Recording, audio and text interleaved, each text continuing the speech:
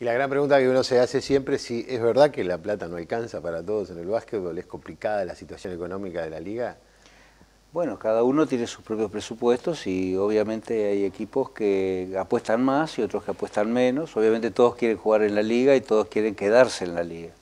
Pero el informe es bastante correcto en cuanto que los ingresos mayoritarios son por sponsors y por la televisión.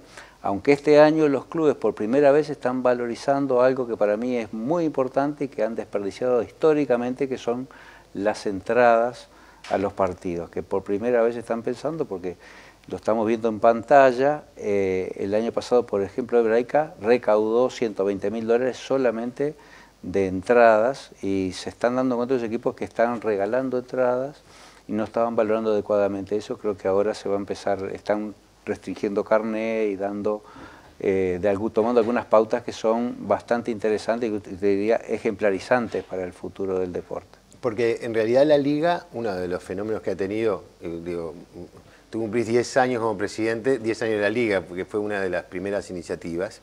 La liga, una de las cosas que, que produjo, por lo menos eso da la sensación, es que volvió mucha gente a ir a los partidos vascos. Es decir, hay mucha concurrencia, incluso hay partidos que terminan con entradas agotadas.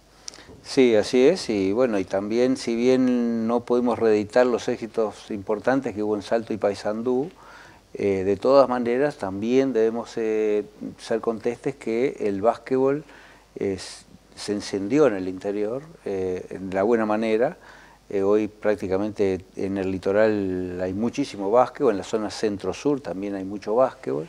Es decir, que desde el punto de vista de ampliar la base, creo que también ha sido exitosa la promoción a través de la liga. Ahora, ¿y por qué no se consigue la integración? O sea, ¿por qué no se consigue esa, yo sé que es la pregunta del millón, pero bueno, ¿cuáles son los problemas que se enfrentan para que efectivamente pueda tener una nacionalización del básquetbol? Bueno, uno de los problemas es que evidentemente es cara, y los, para los equipos de interior es más costosa que para nosotros.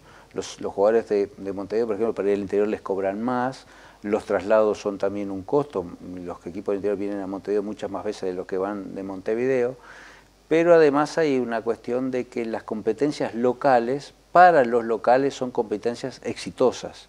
Entonces, yo hablaba ayer en un periódico, un término un poco, un poco duro, pero es la realidad, es como que nosotros en Montevideo decimos, tenemos una, hermoso, una hermosa fiesta de final de liga y no competimos con Brasil, con Argentina, con, Dominicana, con, Estados Unidos si nos toca, o con Canadá, porque acá estamos bien. Eh, y eso es un poco lo que pasa en el interior. Las competencias locales son exitosas y, y competir contra Montevideo es un esfuerzo extra, de superación y no lo enfrentan, de mi punto de vista, con el espíritu ambicioso que deberían. Eh, décima liga, un nuevo formato, la liga constantemente está buscando nuevas formas para funcionar. ¿No es muy larga? Bueno, yo creo que no, tú sabes, porque el básquetbol de hoy es un deporte en el mundo que se juega prácticamente todo el año. Nosotros, eh, la temporada nuestra va a ser de siete meses, eh, para el público y la expectativa en general tiene un periodo de arranque que ya está muy estudiado en las anteriores, que es muy atrayente, va mucha gente, después hay una meseta más bien declinante y después cuando vienen las etapas finales hay otra vez eh, un furor. Yo creo que es bueno, si bien para el espectador común, como tú decís, puede ser un poco larga, los deportistas necesitan jugar todo el año. No pueden jugar un deporte o desarrollarse en un deporte que se juega como se jugaba antes cuatro o cinco meses. Y creo que eso es fundamental. los deportistas necesitan una actividad continuada para poder desarrollarse. La última, ¿afecta mucho la liga que antes de empezar ya se diga que hay tres cuadros que son los que van a estar peleando? En este caso creo que Aguada, Hebraica y Malvin, que toman una distancia muy grande. Yo no hiciste un buen diagnóstico, pero... No, yo no lo hice, lo eh, hicieron los que saben, yo lo eh, escuché. Me parece que está bien, pero yo te digo, yo creo que con la Liga Española, que es maravilloso, el Real Madrid y el Barcelona se sabe que van a pelear por el campeonato y sin embargo todos los partidos están llenos, así que depende de la calidad de los partidos, la competencia, entonces que eh, para Malvin y para Hebraica van a tener que ir a todas las canchas, eh, no como Nacional y Peñarol en el fútbol, y de alguna vez puedan perder puntos cuando salen por ahí como corresponde.